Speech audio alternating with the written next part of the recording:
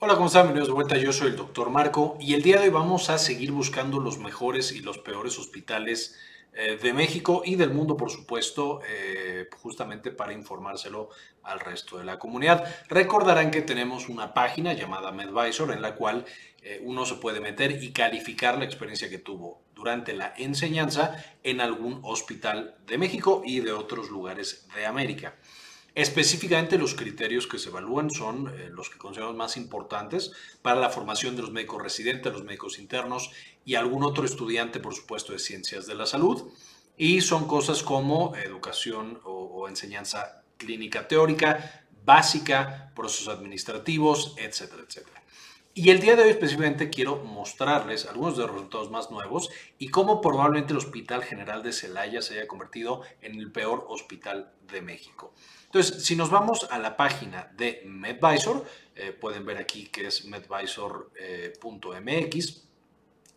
Específicamente, si le damos en inicio, nos va a pedir que nos eh, metamos y eh, ya registrados podemos, desde antes de hecho sin registro puede uno ver las calificaciones y aquí tenemos las últimas calificadas y las peor calificadas. Y el Hospital General de Celaya ha superado con creces a los otros peor calificados que teníamos previamente. No solo eso, no solamente su calificación es básicamente inexistente, ni siquiera reprobatoria, eh, sino que es de los hospitales que más calificaciones tiene. Una vez que nos metemos aquí, no lo voy a hacer en este momento, pero eh, justamente varios de los médicos que están ahí estudiando han acusado de violencia de todo tipo, de acoso sexual, de falta de ayuda por parte del Departamento de Enseñanza, de los médicos adscritos y otro tipo de cosas que por supuesto sabemos no son aceptables durante la formación de los médicos y el personal de salud en este tipo de instituciones. Una gran tragedia porque por supuesto en Celaya hay grandes médicos y hay grandes escuelas eh, muy reconocidas para enseñar justamente medicina y ciencias de la salud. Pero bueno, no tiene una buena calificación en absolutamente nada completamente reprobado en enseñanza teórica, enseñanza práctica, atención al paciente, y aquí es justamente la calidad que se le brinda a los pacientes eh, cuando están hospitalizados en esta institución, insumos, eh, que es que los médicos tengan lo que necesitan para hacer su trabajo, desde los medicamentos requeridos para darle atención al paciente y que no tenga que ir el paciente a comprarlos o el personal de salud a comprarlos, pero también equipo de protección personal, muy importante durante la pandemia, bisturíes, o sea, equipo que se necesita, eh, punzocats, etcétera, para atender a estos pacientes. Respeto, que por supuesto, como pueden ver, es el que sale peor de todas las demás eh, rangos para puntuación y los procesos administrativos, que aquí lo principal que estamos incluyendo, por supuesto, es que le permitan a los médicos que están ahí estudiando hacer procesos administrativos, cosas como titulación, cosas como inscripción en la universidad en, lo que, en la que ellos en teoría están estudiando, que se les permita hacer eso eh, eh, y que por supuesto se les oriente cuando sea necesario el Departamento de Enseñanza del hospital y eh, por supuesto también la universidad. Ahora, dentro de los otros peor calificados, que de nuevo aquí podrán ver los comentarios tan, tan eh, desagradables que tiene el hospital, que no voy a meter porque son bastante intensos, tenemos otros hospitales muy mal calificados, pero de nuevo ninguno como el Hospital General de Celaya. Y aquí está el Hospital General de Chihuahua, eh, con punto 6, ligeramente mayor, menor calificación respecto a administración. Sin embargo, aquí solo una persona fue la que ha votado.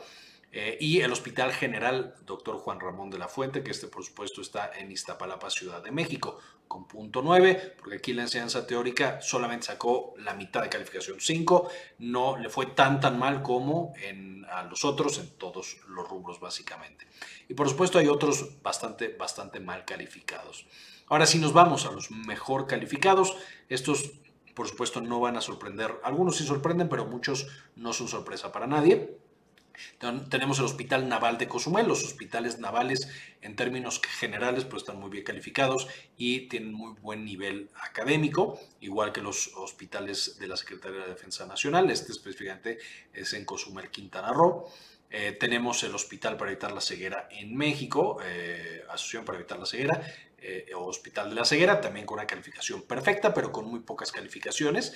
Y luego el Hospital General de Zona 2A, que es en Iztacalco, Ciudad de México, con muy, muy buena calificación y dos personas que ya eh, evaluaron su experiencia en este lugar. Además, en MedVisor ya saben que además eh, de tener el mejor o los mejores y los peores hospitales. Para los estudios tenemos la lista negra, que son aquellos, y esta por supuesto la retroalimentamos o nos enteramos muchas veces de los casos por lo que ustedes nos dicen y por lo que ustedes nos avisan que está pasando. Y cuando hay cosas que ameritan, que realmente ponen en peligro el bienestar de los médicos y el personal de salud que está laborando y estudiando en esa institución, va incluido en la lista negra. Y hasta ahorita tenemos a Tlanepantla, al Hospital General Las Américas Ecatepec, que ha tenido numerosos casos muy públicos de humillaciones y de violencia muy importante contra los médicos que ahí están estudiando. Hospital General Caborca eh, y solo para mencionarles todos, Centro de Salud Santa Rita Tlahuapan, y me parece que son todos. Hasta este momento, por supuesto, si saben de otros centros que vamos a investigar, eh, será muy importante para nosotros conocerlos y poder seguir comentándolos y presentándolos. Nos ayuda muchísimo todas estas votaciones que ustedes hacen, eh, el hecho de compartirnos esta información y nosotros poder compartirla con el resto de las personas. Eh, creemos que es esencial para todas las personas que están decidiendo dónde van a estudiar, ya sea su especialidad, su subespecialidad o el internado o incluso alguna materia dentro de la carrera de medicina o de alguna otra carrera de ciencias de la salud. Por favor, sigan metiéndose a la página y sigan comentándonos eh, todo lo que les ha pasado, cuáles son los mejores, cuáles son los peores. Ayúdenos a encontrar el mejor y el peor, o los mejores y los peores hospitales para estudiar en México y, por supuesto, en toda América. Antes de irme, quería también agradecer a las personas que hacen posible todo el trabajo que hacemos en este canal de manera gratuita gracias a la donación que ellos deciden hacer de uno o de dos dólares al mes. Y este video que se lo quisiera dedicar a Abraham Santana, doctora Milis, Antonio Guizar, Héctor Lagos, José Luis Tobar, J.D. Montt, Jason Silva, Héctor Lepe Sainz, Mike Angelo, Guadalupe Guardiola, Rodrigo Álvarez, Gli53, Moni Leigh, Carlos Luis, Givón Gron, Luis Ernesto Peraza, Leonor Paves Cabezas, Juan Rodríguez, Cindy Magaña Bobadilla, Gustavo Francioli, Alejandro Pardo, Doctor Mineralín, Gilberto Argueta, Javier Mejía, Hernán Gustavo y Sandy Oliva. Muchísimas gracias por todo el apoyo que nos brindan, por permitirnos seguir haciendo este tipo de contenido, compartirlo con todos. Y ahora sí terminamos. Como siempre, ayúdenos a cambiar el mundo, compartan la información. Este video es en parte posible gracias a nuestra tienda en línea Synapsis Store en synapsistore.com, donde ahora además de encontrar los productos que ya conocían, como nuestros libros originales, por ejemplo, Farmagrafía del Dolor y las presentaciones con las que hacemos los videos para el canal, también van a encontrar algunos servicios como consultoría para tesis, estadística, editorial y de algún otro tipo. Finalmente, dentro de las presentaciones, por supuesto, van a encontrar las de los principales videos que ya conocen. Eh, nuestro libro de farmagrafía del dolor y algunas otras cosas que les podrían interesar.